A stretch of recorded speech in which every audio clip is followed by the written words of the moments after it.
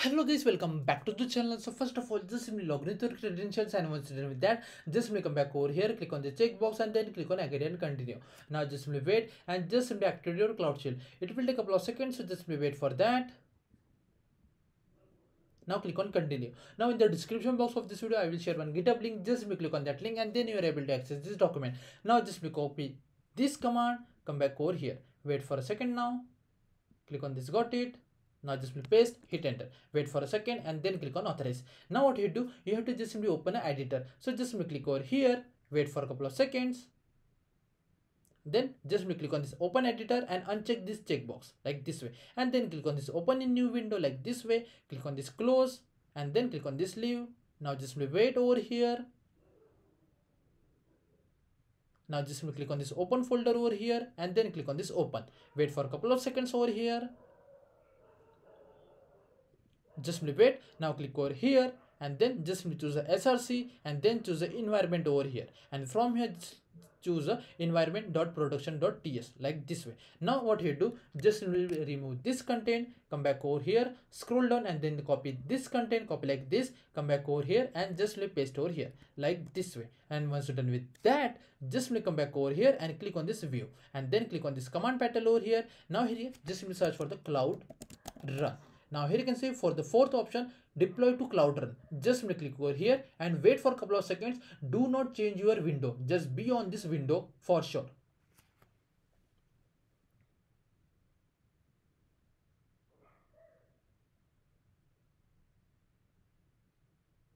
and as you can see as asking for me to choose a project id so just simply choose your project id like this way and just simply wait over here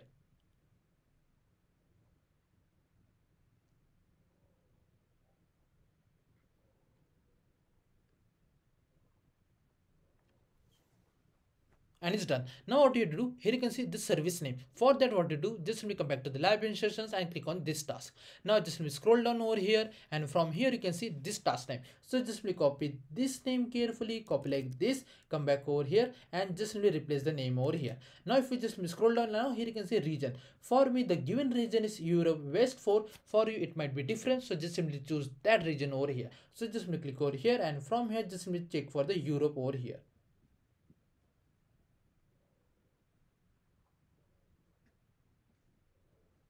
yeah this is a euro west 4 okay once you're done with that now just simply scroll down. It must be allow an authentication. Okay and now just make sure that the build environment must be local. Now just scroll down and then click on this deploy. Now this thing is going to take at least 5 to 10 minutes. Meanwhile what we'll do we will move forward to the next task. So what you do just simply scroll up and from the point number three you can see this link. Just simply open this link over here in the incognito window like this way. Wait for a couple of seconds over here now just simply sign in over here.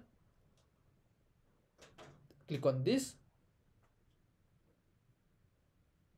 Now just simply authorize yourself.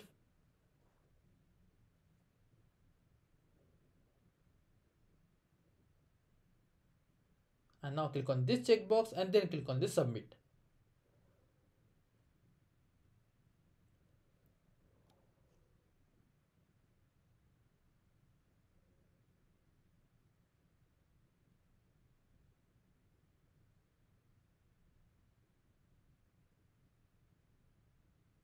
now just simply choose any option over here?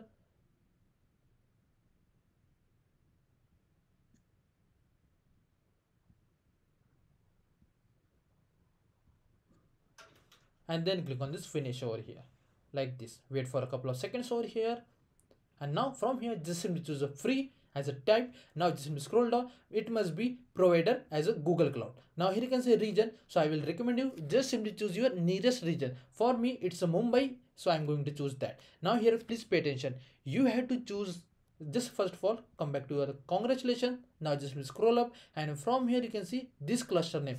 Make sure that you have to only choose this cluster name. Do not type any other name. So just simply copy like this. Come back over here. Now just simply replace this name with this and then click on this create. Now just simply wait for a couple of seconds. Now it asking for the authorization. So just simply authorize yourself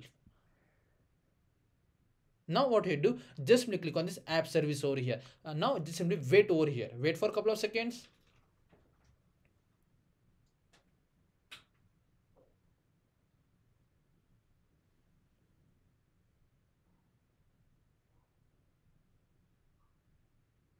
And it's done. Now here you can see this light green option line over here. That means we have selected this part. Now just scroll down and then click on this next. Wait for a couple of seconds. And it's done. Now just me click on this close guide. Now what you do just me click on this apps over here. And then click on this create new app over here. Now for this application name just simply copy this cluster name come back over here. Now just simply replace this name with this like this way. And make sure that the link database must be workshop bakery. And then click on this create app service. Wait for a couple of seconds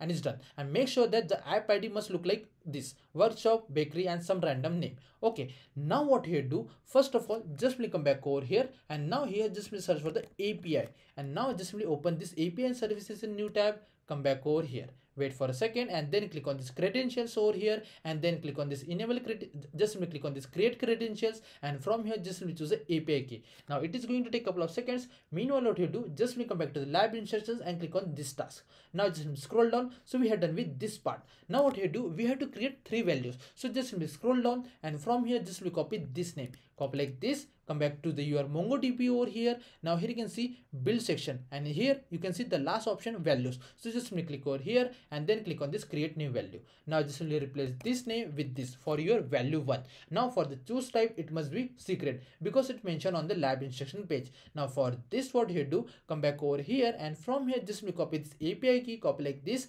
come back over here and now just paste over here your api key over here. Like this way for the value one. And then click on this save. So we are done with the value 1 now again just scroll down and here you can see from the point number 4 just simply copy this value 2 name come back over here click on this create new value just simply replace the name and for the type it is a value. So we are not going to make any of the changes and the add content is must be custom content because it's mentioned on the lab instruction page.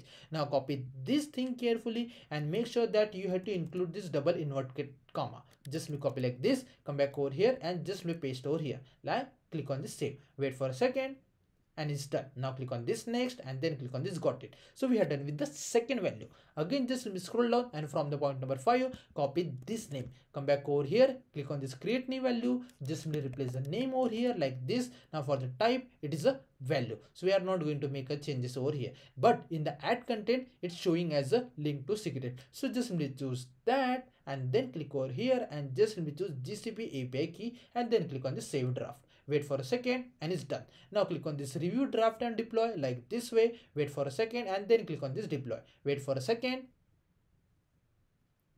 And we are done with the value task. Okay now what you do? Just simply created two functions. So basically just scroll down and from here just copy this name come back over here. Now here you can see functions. So just me click over here. Wait for a second and then click on this create new function. Now just replace this name with this. Now for the authentication it must be system. Once you're done with that like this way then click on this save draft. Wait for a second.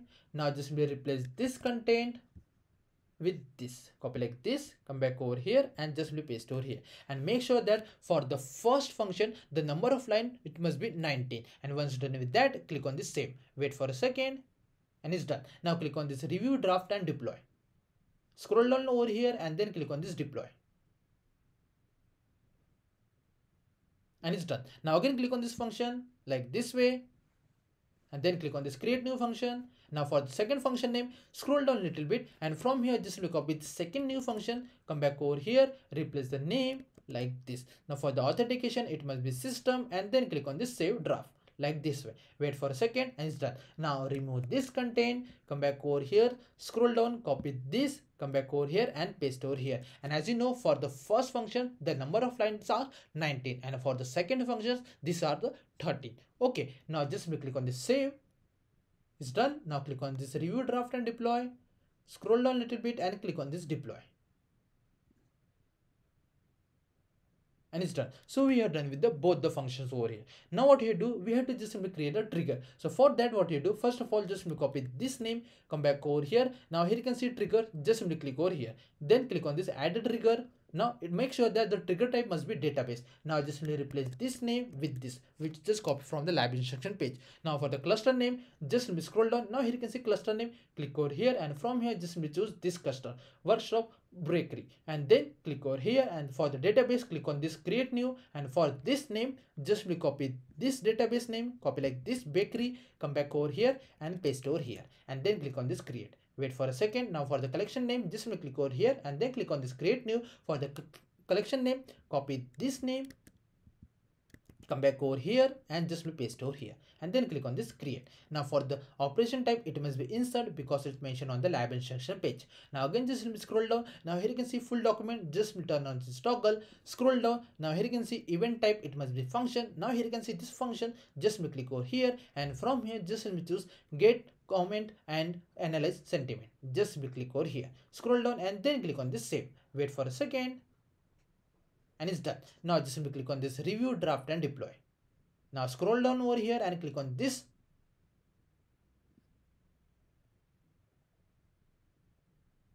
And deployment has been done. Now if you just scroll down and click on this check my progress, you will not get a score. Because we have to do one more task over here. So basically what you do, just simply come back over here, scroll up. Now here you can see data and services. Just simply click over here.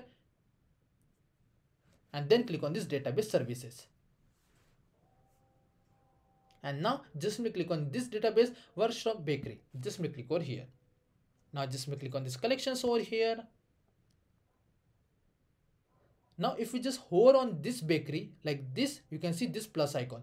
Just simply click on this plus icon like this way. Now for the collection name what you do just simply come back over here. Now in the github repo just simply scroll down. Now here you can see task 2 just simply copy this name come back over here and just simply paste over here.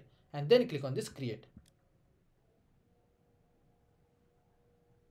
and it's done. Now just me click on this bakery name this one. Okay. Now click on this insert document like this way click on this function action and then just remove this content like this way. Come back over here scroll down and then copy this command come back over here and paste like this and then click on this insert and data is added over here. As you can see it's done. Now again click on this insert document. Again click on this function brackets. Now remove this like this way. Now for the second scroll down then copy this thing carefully. Copy like this. Come back over here and just will paste over here. And then click on this insert. Wait for a second and it's done. Now i request you please pay attention over here. Now here you can see this second document chocolate cakes. Now what you do just simply copy this object id just simply copy this thing carefully and paste on your notepad over here.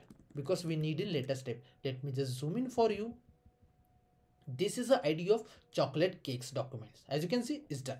Now what you do just click on this comments over here like this. Now you can see bakery comments. That means we are in the bakery comments. Now click on this insert document. Again click on this function bracket. Now here just me remove this and replace with this thing. So just me copy like this come back over here and just paste over here. Now what here do?